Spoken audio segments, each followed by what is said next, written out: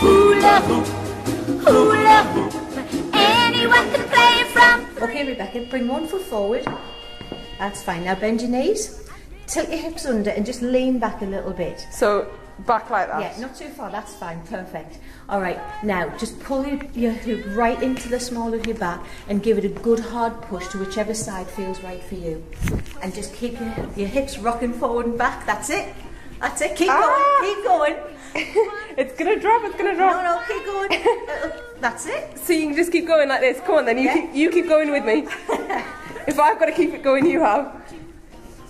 Oh, you feel it kind of slip round, don't you? Yeah. Yeah.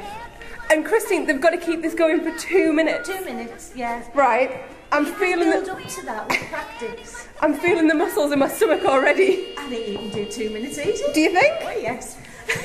At the end of two minutes of this, would you be expecting to be aching away? No.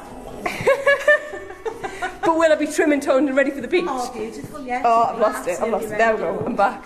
It's a bikini body workout. It certainly is. well, I think we might be ready for the World Cup conference. Hula hoop, hula hoop.